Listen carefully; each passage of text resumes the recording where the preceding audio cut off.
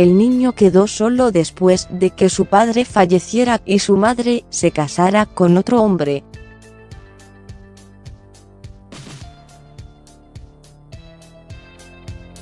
Esta historia ha conmovido el corazón de miles de personas y también ha causado conmoción por lo lamentable de los hechos.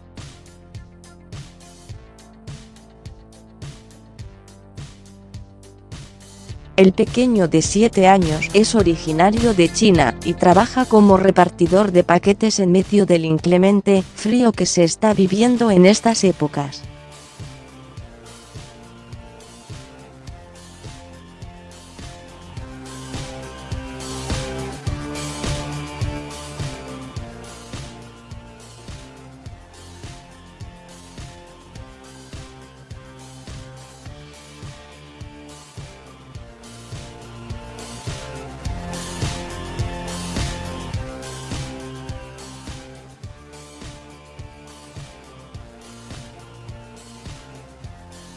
Jan trabajaba como repartidor, y un día el niño le ayudó con unos paquetes porque se estaba haciendo tarde.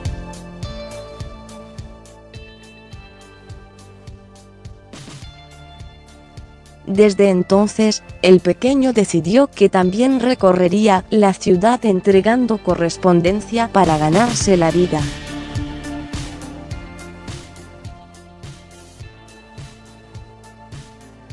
El niño solo le pidió que le comprara un carrito para poder llevar las encomiendas.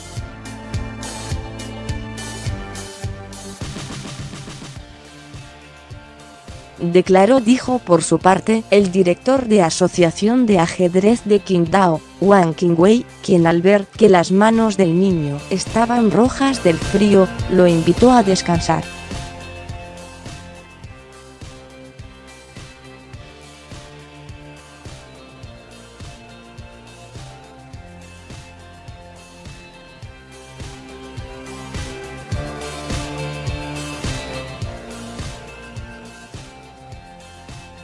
La historia de este niño ha conmovido a la sociedad china, que ha comenzado a ayudarlo de diferentes maneras.